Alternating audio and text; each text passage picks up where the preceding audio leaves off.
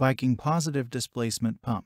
The decision to use a positive displacement pump or a centrifugal pump is not always a crystal clear choice. To make the right choice between these pump types, it is important to understand that they behave very differently. Today we're discussing when you should choose a Viking positive displacement pump in Georgia, flow rate versus pressure.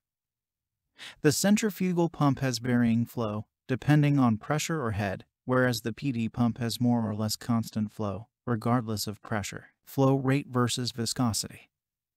Another major difference between the pump types is the effect that viscosity has on the capacity of the pump. The centrifugal pump loses flow as the viscosity goes up, but the PD pump's flow actually increases. This is because the higher viscosity liquids fill the clearances of the pump, causing a higher volumetric efficiency. When there is a viscosity change, there is also greater line loss in the system, efficiency versus pressure.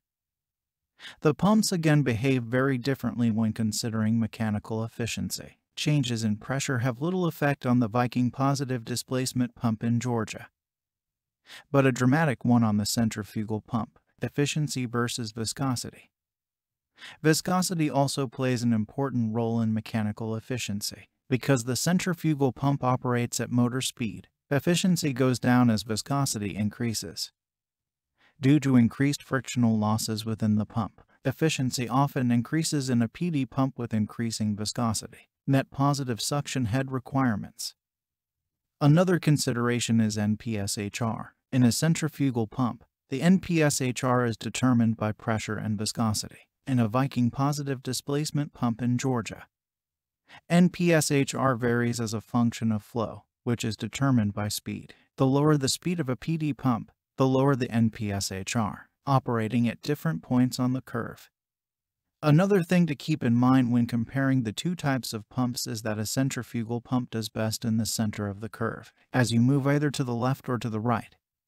Additional considerations come into play. If you move far enough to the left or right, pump life is reduced due to either shaft deflection or increased cavitation. With a PD pump, you can operate the pump on any point of the curve. In fact, the volumetric efficiency as a percent actually improves at the high-speed part of the curve. This is due to the fact that the volumetric efficiency is affected by slip, which is essentially constant. At low speed, the percentage of slip is higher than at high speed. Need help choosing between a centrifugal pump and a Viking positive displacement pump in Georgia for your application?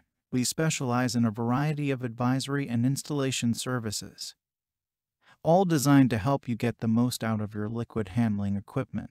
And we're certified to maintain and repair all the equipment we supply to our clients. Call us today for more information.